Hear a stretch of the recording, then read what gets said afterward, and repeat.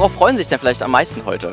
immer auf die lachenden Gesichter der Kinder. Für die machen wir das eigentlich. Das muss man ganz klar sagen. Wenn man sich das anguckt, die Bilder sieht, das steckt die Erwachsenen genauso an. Und bei dem Wetter, was will man mehr?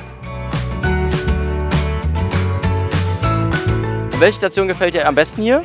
Mir gefällt diese Betonstation eben am besten, weil man da mit Beton arbeiten kann und die Teamarbeit ist da sehr gefragt. Also Bauarbeiter bauen die auch mit so einem Stein und dieses Zeug, was die da rauf machen, dann mach, stapeln die.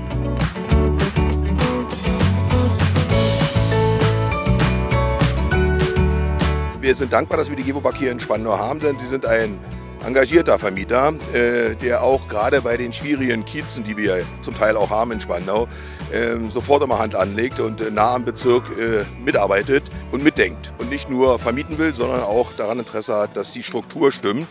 Und da sind wir dankbar.